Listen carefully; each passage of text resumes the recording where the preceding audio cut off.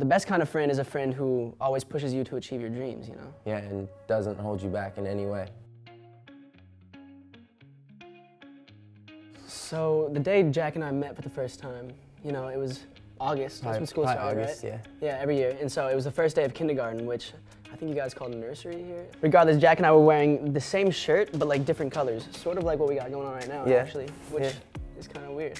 And we also had name tags, of course, and the name tags said Jack in terrible handwriting because I Yeah, know we you had all to write them. your own, you know. My J's were backwards, so is so is his. And so I would like, put the dot that you're supposed to put after your last initial, you know? I put it before my last initial, so it was like Jack, Jack, dot G. Impressive stuff. And I was Yeah. really intrigued, you know, just because I was like, your name looks the same as mine. I think it's mine. I couldn't really read yet.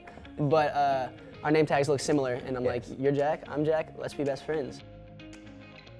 I think we're very lucky to have each other, and on top of that, I feel like our friend group that, you know, um, a lot of which was pre this whole, whatever you want to call it, fame thing. There's so many Omaha, Nebraska people in LA that we grew up with, like our buddy Sam and our buddy Ski and our buddy Skate. Yeah, like all these people. I'm the type of person I overthink everything and I'm like very indecisive and I probably wouldn't leave the house ever if I was alone, you know, like unless someone was like dragging me out. And so He'll be in the mirror, just like, I was like, These "Ah, shoes or the other shoes?" Yo, the yellow bags. it's a process. And then it's funny though, because like we're like, gee, the fit's fire. Just Let's come on." with us. Let's go meet people. And I'm like, all right, all right. But it's just true. Like I could never have done this alone, you know. And I don't think I think that goes for both of us. Like we just wouldn't even want to do it alone, you know.